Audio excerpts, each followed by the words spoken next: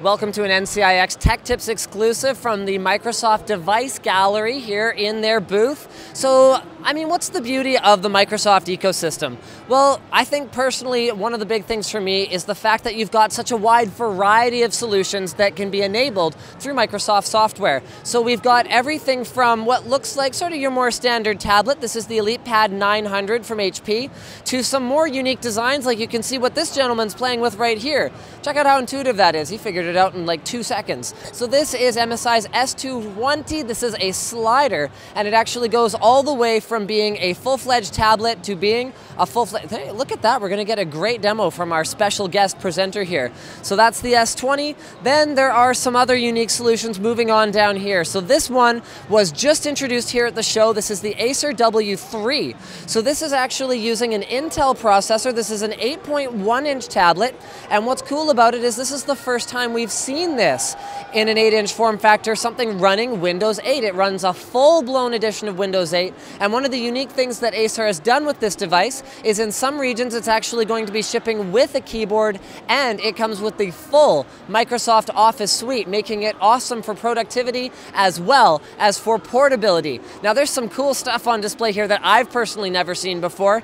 Dell I'm obviously pretty familiar with, but we're gonna go around that way and have a look at this KUPA device right here. So this, contrary to what you might think, is not actually made by Nintendo. It's a brand that's mostly focused on China that builds business grade devices. So this one right here is a tablet slash laptop, so you can actually disconnect the top tablet piece from the laptop. It has a built-in stylus allowing you to, I actually don't know how to remove this, but I saw someone do it, so I'm pretty sure there's a way. Let's uh, see if we can figure that out. There we go. So the stylus is removable, and I'll get my lovely assistant here to just go ahead and uh, show us how. I, oh, look at that! I figured it out this time. So you can choose to use it either as a stylus touchpad, or you can actually use it just as a regular tablet because it does detach from the base, which is ah yes. Thank you very much for that. Cool thing about this, again, more business features. When's the last time you guys saw a tablet with a fingerprint scanner? Can you do that on your iPad? I don't think so. I don't think they have an app for that. So let's go ahead and move over here where we're seeing some of the more unique devices as well. So these are all running Windows 8. So that's cool because you can go all the way from a regular tablet, a little tiny tablet, all the way up to full-blown notebooks and pretty much everything in between. So this is a design, the U21M from Gigabyte, that shows off how you can create all kinds of unique hinge designs in order to enable people to take advantage, it's hard to do this with one hand, of these Ah, there we go, of these functionalities. So this one right here we have checked out before. This is the Yoga 11, and this is another approach to the notebook slash tablet design idea, where you've got the notebook this way, you flip the whole thing around, and boom, all of a sudden it's a tablet. The cool thing about this one is it actually disables the keyboard on the back when you flip it open, meaning that you don't accidentally mash the keys and type a whole bunch of things when you're just trying to use it as a touchscreen device. Now, when Kinect first launched for Xbox 360, we kind of looked at it and went, okay, so you can play dancing games, that's kind of cool.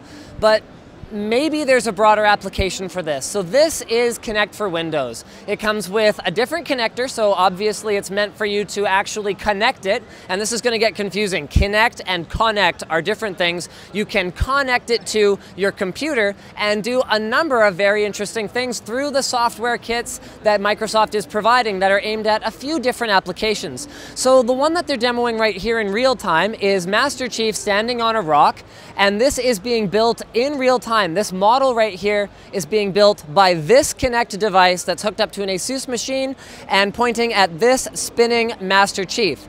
Now, I'm gonna show you guys, I'm gonna prove this is in real time because I'm gonna break their demo just like I did when I was getting briefed on it. If I stick my arm in here, you're gonna see on the screen that the software that's building this model is gonna pick up my arm right there. So what's the application of this? Imagine if you're a game developer and you no longer have to actually draw from scratch anything that you wanna have appear in your game. You're like, oh, well, I wanna have a water bottle in my game. I guess I'll just put it on my little pedestal, take a 3D image of it, and then I can just skin the thing. That's pretty cool. Now imagine a world where you can buy a 3D printer. Okay, so that's today. Now imagine a world where you can buy a 3D scanner. Okay, so that's coming very soon. What if I could just scan something and instead of actually making my mom a little vase for Mother's Day, I can just scan one and print it out? That'd be kind of cool. It's coming very, very soon. And imagine the applications of this for something like, I don't know, shopping online for clothing. Right now, clothing is one of the most difficult things to shop for on the internet because sizing is ridiculous. I'm over in Asia right now. If I bought a medium here, I'd be like, it'd be like this on me. Whereas if I buy a medium at home, it's, well, well, you're looking at a medium from home. So this is just scratching the surface, guys. This entire row of things here has applications for this all the way from things like rehabilitation to fitness, and of course, the things that we've talked about already. The future is looking very bright for the technology that was introduced as a gaming platform, but as we can see, goes much deeper than that. As a bit of a wrap up at the Microsoft booth, we're going to talk about Office 365. Now, of course, Office 365 isn't completely new, but I'll give you guys a refresher in case you haven't watched the video that we've done before on this channel.